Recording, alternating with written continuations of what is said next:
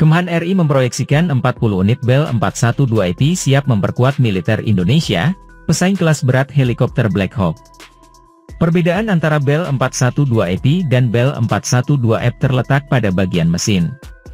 Dikutip dari laman PTDI pada 11 Januari 2019, Bell 412EP ternyata menggunakan dua unit mesin Pratt Whitney PT6T, 9 Twin PAC dan Bell 412F menggunakan dua unit mesin Pratt Whitney PT6T, 3D. Dari perbedaan tersebut maka performa Bell 412EP sungguh luar biasa. Terbukti pada daya jelajah Bell 412EP memiliki kecepatan jelajah 235 km per jam dan sanggup menjelajah hingga 687 km.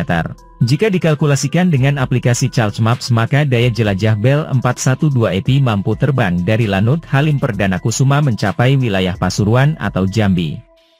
Dan Bell 412EP mampu terbang selama 4 jam dengan perhitungan helikopter terbang dengan bobot 4.309 kg. Bell 412EP sendiri memiliki keunggulan soal perangkat avionik kelas canggih yang mengusung teknologi flight control 4 aksis dan instrumen full glass cockpit. Alhasil Bell 412EP memiliki Bell Basis Pro Integrated Glass Cockpit System dan mencakup Bell S Patented Power Situation Indicator, PSI, Presentation. Belum lagi adanya teknologi Garmin GTN 750 NAV, COM GPS with High Resolution Digital Maps dan WAAS GPS Instrument Approach Capability ada pada Bell 412EP. Alhasil Bell 412EP dirancang upgradable dan mudah diadaptasi untuk kustomisasi tambahan.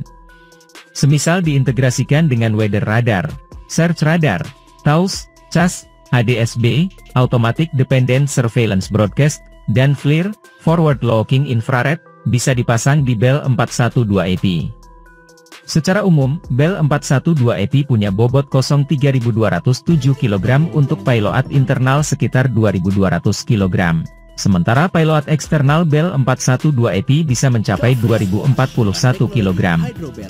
Bobot penuh helikopter adalah 5.534 kg dengan kapasitas bahan bakar 1.251 liter. Selain itu, pengadaan Bell 412EP oleh Kemhan RI pada waktu itu mencakup persenjataan dan amunisi, suku cadang, publikasi teknis serta pelatihan. Oleh karenanya Bell Helikopter Textron menyebut waktu yang dibutuhkan waktu transisi sekitar dua minggu bagi pilot untuk mahir menerbangkan Bell 412EP. Sementara bagi ground crew silabus pelatihan dan perawatan helikopter Bell 412EP di kisaran 4 minggu. Bicara soal senjata, Bell 412EP bisa dipasangi roket FAR, Fin Folding Aerial Rocket. Tak hanya FAR, Bell 412EP dilengkapi Dorgan dengan pilihan senjata FN Mag atau M134D minigun yang keduanya berkaliber 7,62 x 51 mm. Dari senjata di atas maka Bell 412EP bisa dipasangi senjata kelas berat sebagai andalannya. Selain Indonesia, di Asia Tenggara yang telah memesan Bell 412EP adalah AU Filipina. Kontrak pemesanan 16 unit Bell 412EP untuk Filipina ditandatangani saat Singapore Airshow 2018.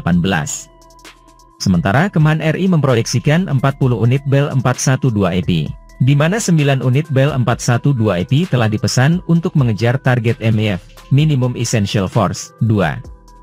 Sampai saat ini diketahui jika TNI Ed khususnya Pusat Penerbangan Angkatan Darat, Puspenerbad, diketahui menggunakan Bell 412EP. Dan itu dia beberapa penjelasan dari Bell 412EP yang merupakan pesaing kelas berta helikopter Black Hawk.